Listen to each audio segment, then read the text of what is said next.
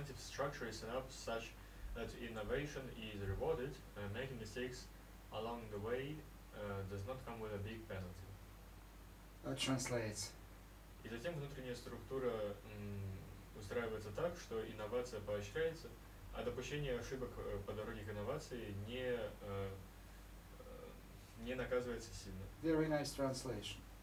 Uh, you won't be punished severely for your uh, mistakes. That's okay. Most important uh, thing that you uh, innovate, innovation. Okay. Um, and but, but but failure to try to innovate at all comes with a big penalty. You'll be fired. If you don't even try, um, or or somebody doesn't even try to innovate. Come on. But failure to innovate at all comes with a big penalty. You'll be fired if you don't even try, or if somebody doesn't even try to innovate. That's so interesting point. Translate.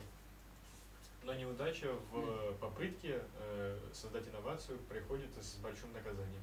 Вы будете уволены, если вы даже совсем не стараетесь, или если кто-то даже не пытается создать инновацию. Okay. Very nice. Do you agree?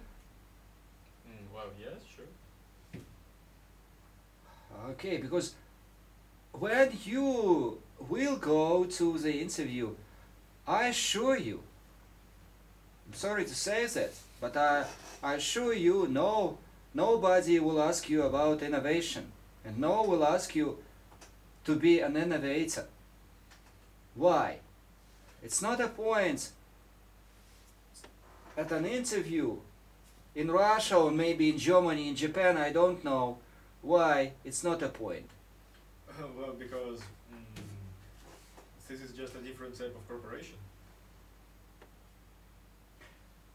I would probably give you advice